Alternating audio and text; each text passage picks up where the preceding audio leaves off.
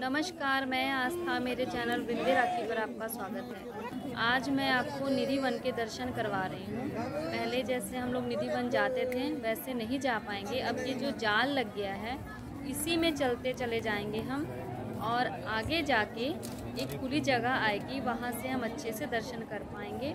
पर हम वन के अंदर नहीं जा पाएँगे जैसे पहले जाते थे। और ये आप देखिए, हम जाल से ऐसे दर्शन करते हुए आगे हम चलते चले जाएँगे।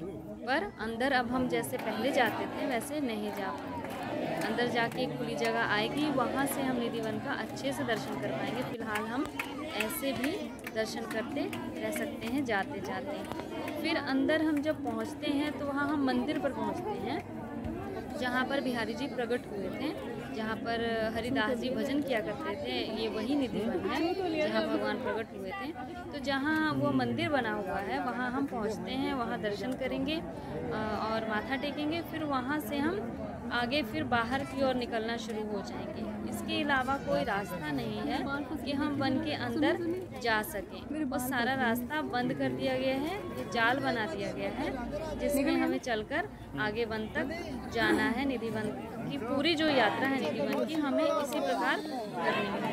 जैसे मैं पहले भी आई हूँ निधि वन तो पहले जब हम आए थे तो हम अंदर जाते थे वन के, बिल्कुल, और अच्छे से आराम से घूमते थे, कोई प्रॉब्लम नहीं थी, कोई दिक्कत नहीं थी, कहीं पर कोई रुकावट नहीं थी। पर ये अब एक रुकावट समझिए, या फिर सुरक्षा के लिए किसी प्रकार की, वन की सुरक्षा के लिए, स्थान की सुरक्षा के लिए कह सकते हैं कि ये सब किया गया है, क्योंकि बहुत ज़्यादा होती है।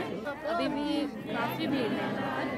और बहुत धीरे धीरे चल के जाना पड़ता है। पहले भीड़ ज़्यादा होती थी तो अंदर जाने में दिक्कत नहीं होती थी। क्योंकि काफ़ी स्पेस वैसे अभी हम चल के अंदर जा सकते हैं।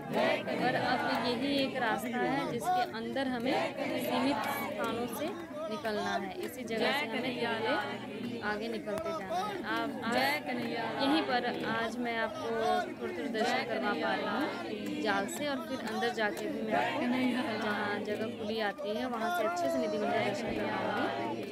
और फिर उस मंदिर के भी दर्शन करवाऊँगी जहाँ भगवान प्रकट हुए थे।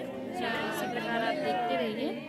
और ये देखिए निधि वन के अंदर जो ये वृक्ष हैं इन वृक्षों की विशेषता यही बताई गई है कि ये बहुत बड़े नहीं हैं और ये ऐसे टेढ़े मेढ़े हैं जैसे कि ये नृत्य कर रहे हों, किसी के संग हों, और कहा जाता है कि ये सारा वन तुलसी का वन हुआ करता था, और ये जो पेड़ है, ये तुलसी है, पर समझ में नहीं आता कि ये तुलसी है कि क्या है, पर बताते तो यही है। और ये पेड़ लंबे नहीं है, वर्षों से जब से निधि वन इसी प्रकार है जिस प्रकार अभी आप देख रहे हैं इन पेड़ों की जो लंबाई है वो नहीं बढ़ती।